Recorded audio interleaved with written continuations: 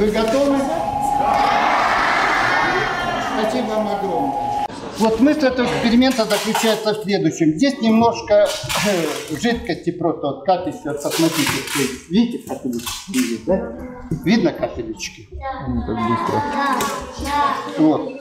Я делаю то, что я делаю. Просто нагреваю колбу, которая плотно закрыта резиновой пробкой, а в резиновой пробке есть плотно вставленная трубочка, герметичная. Вот. И поэтому сейчас посмотрим, как будет наполняться эта колба водичкой, которая просто под крана, температура, вот вы можете видеть температуру 21 градус или 22, это не имеет значения. И вот здесь, кто далеко сидит, видит, что по трубочке постепенно поднимается водичка. Вот. В связи с тем, что система замкнутая, однозначно сразу автоматически образовываются насыщенные пары. Вот сюда вот надо сконцентрировать внимание видеокамеры.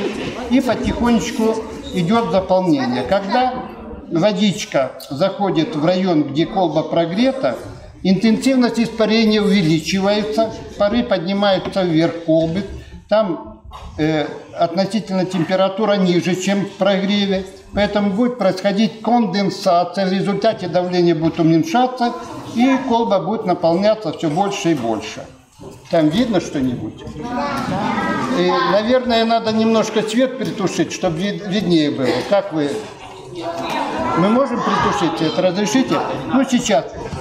Ну, посмотрите, очень много набралось. Я сейчас вам показываю, посмотрите, очень много. Но сейчас я сделаю то, что я сделаю.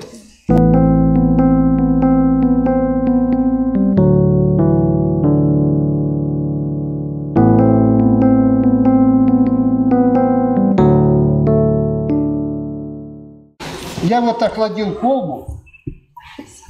И посмотрите опять. Вот э, здесь водички уже больше, чем было до этого. Вот посмотрите, внизу водичка. И делаем то же самое.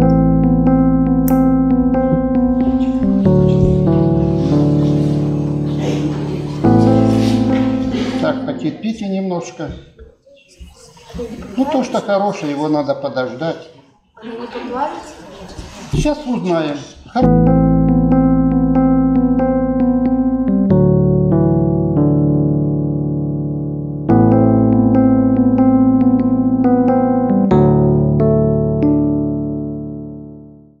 хорошо. Вы знаете, может она даже и лопнет, не знаю. Так, смотрим внимательно.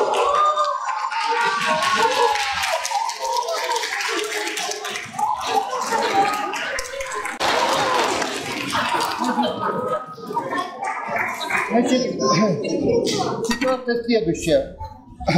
Значит, что получается? Я сейчас вам немножко физики расскажу и степени.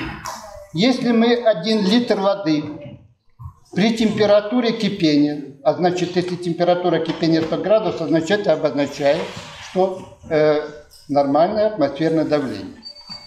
Значит, есть вот при нагревании при кипении этот литр воды занимает объем всего-навсего столько. Смотрите.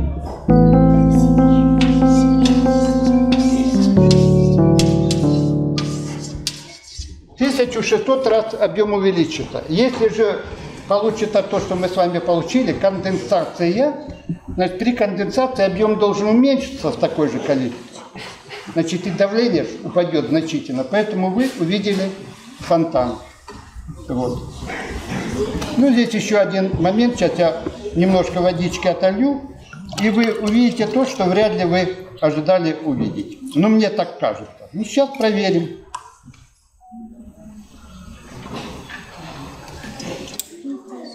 Не переживайте, все будет прекрасно. У нас иначе не бывает.